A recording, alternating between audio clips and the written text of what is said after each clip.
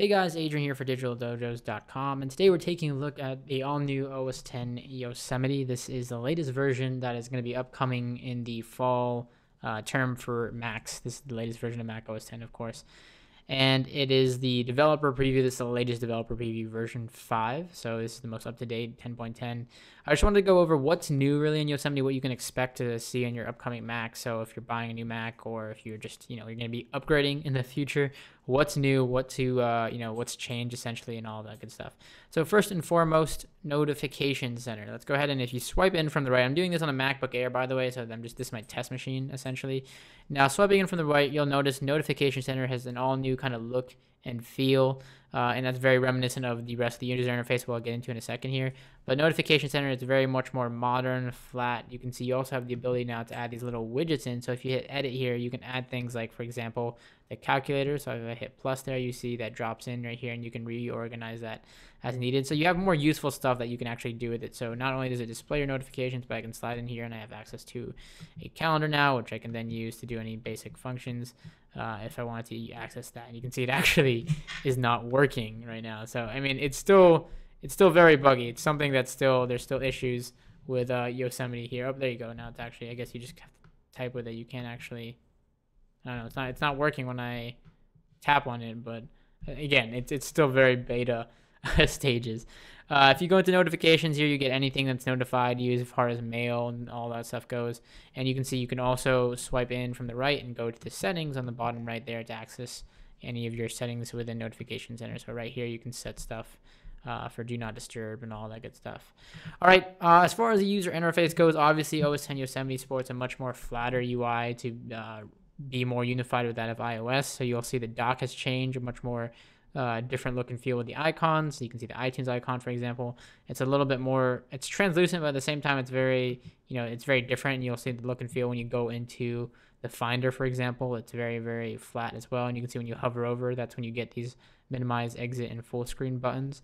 Uh, additionally, you still have those tags and all that uh, new Finder coming in from OS 10 Mavericks but nonetheless you have a uh, much more cleaner i think look. And if you go into system preferences you'll notice the new icons and look and feel as well there. You can even adjust things like as far as the color. You can change it to a dark menu if you prefer that. So there's a lot of different things that you can adjust now within the actual user interface.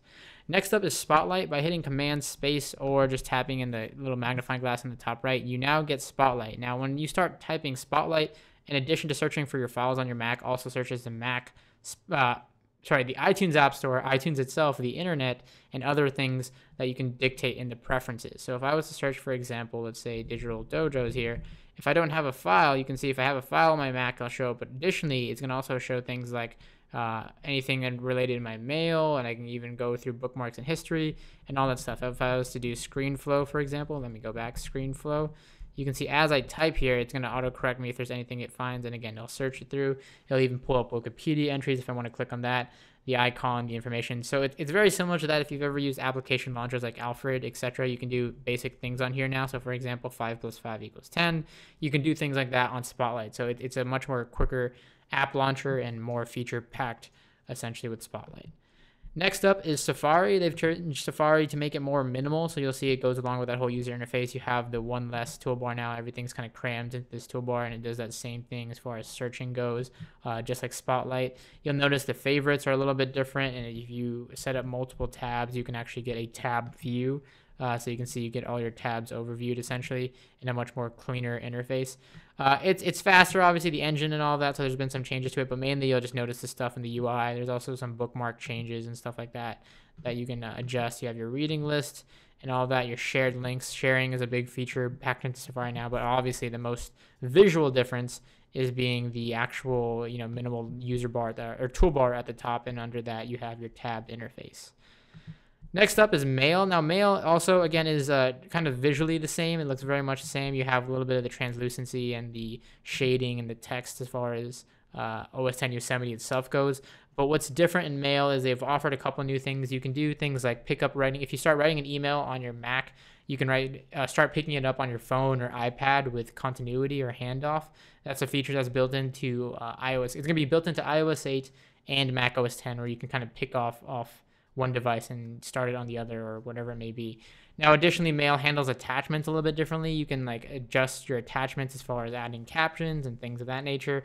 So there's just a little bit of small changes within the way Mail works in itself. So when you write a new message and all that, you can attach uh, a picture and you can store up store files up to five gigs and more, incorporating it with what's known as iCloud Drive. iCloud Drive is basically Apple's way of you storing your files in iCloud. You get access to a little thing called iCloud Drive. You sign up to it, I believe, with your Apple ID, and you can store everything on the web. And this allows you to access everything where you go, essentially. So whether it's on your iPhone, iPad, or other Macs, everything would store through iCloud Drive. Essentially, Dropbox built into OS 10.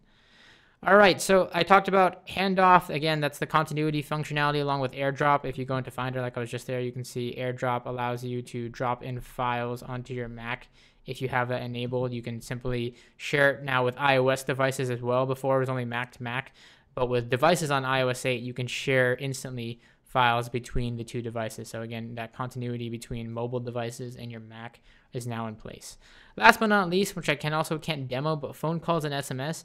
If you have a iOS 8 uh, paired device like an iPhone, when you receive a phone call, you can actually uh, pick it up on your MacBook or MacBook Pro, whatever it may be, iMac even. It'll basically use your laptop or desktop as a hotspot, and you can answer your calls on your Mac.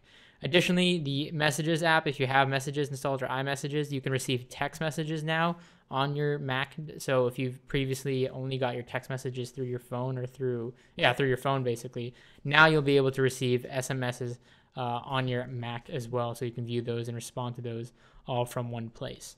All right, so that's a lot of the big new features in OS 10 Yosemite. There's a lot of stuff that's still being patched, fixed, and obviously there's going to be things that are refined when the final release comes out.